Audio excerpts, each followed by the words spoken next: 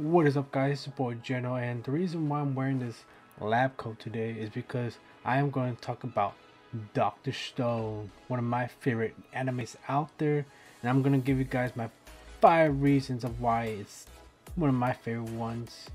And is this anime perfect? No. It has this cringy moments and like and it sure has like a lot of plot that I didn't like about it. But you know that's every show has its great moments and it will always have like its great flaws. So I will be doing a five reason why uh, Doctor Stone is, sucks or something like that. So be on the lookout for that video. Be coming out real soon. And if you never heard of Doctor Stone, well, you must be living on the rock. Get it? Because of Stone's rock. Okay, I'll just leave.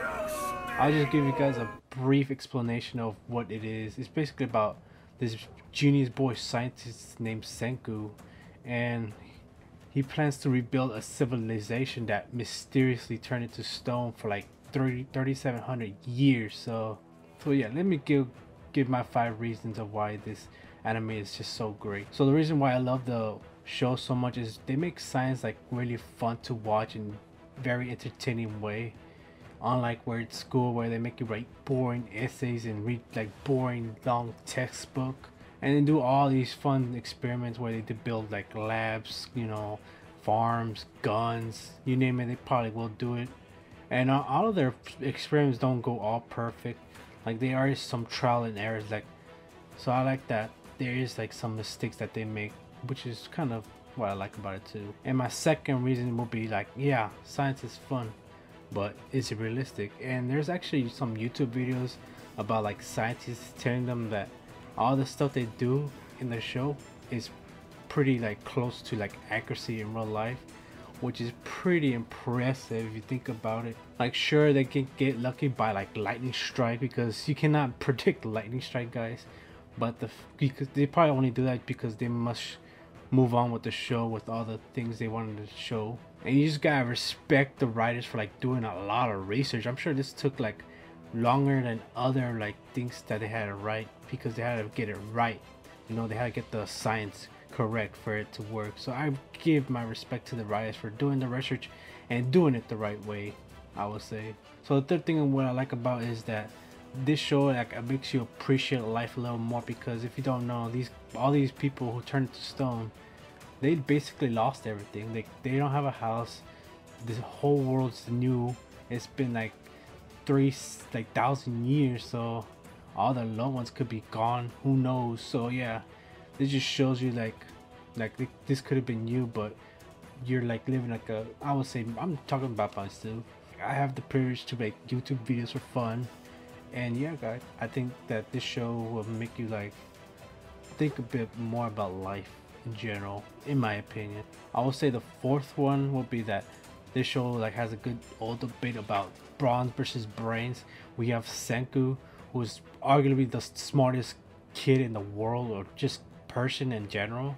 And then we have Senku, who literally tackled a lion with his bare fist. So yeah, these two are no jokes about this.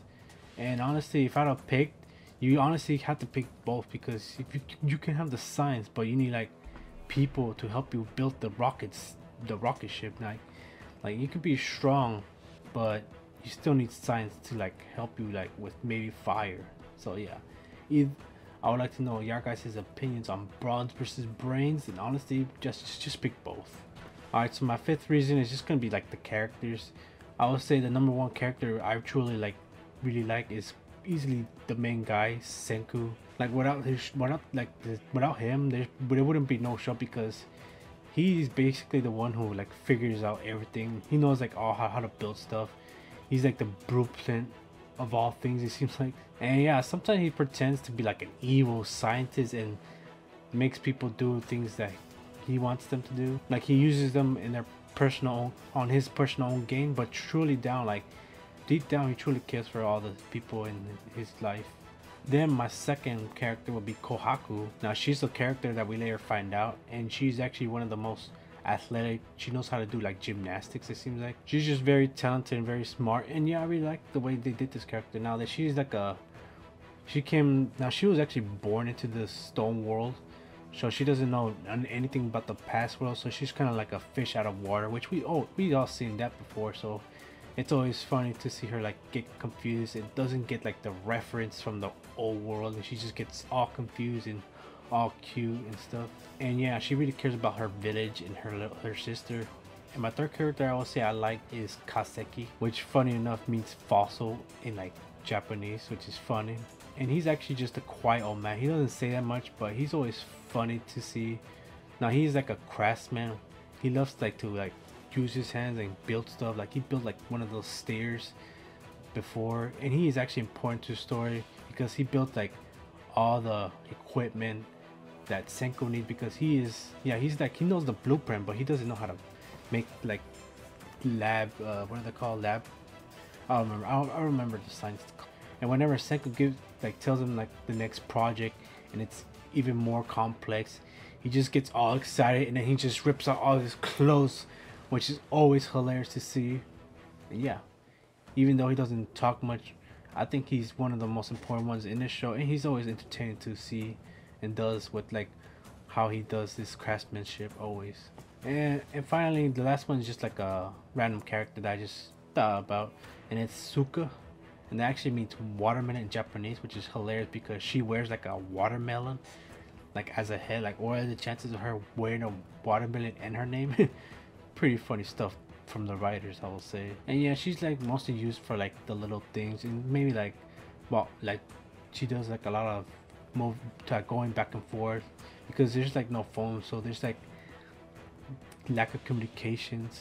So she I would say is a little important but she's always cute to see and yeah I'm sure there, there's more to her but I just can't remember right now. But yeah guys those are just my five reasons of why I love Dr. Stones let me you know yours. And I will be doing like the five worst things so be on the lookout on that. And tell me like what things you you just hate about this show. Is it like the cringy things they do? Maybe the plot sucks? Let me know in the comments but be sure to like and subscribe and I'll see you next one. Peace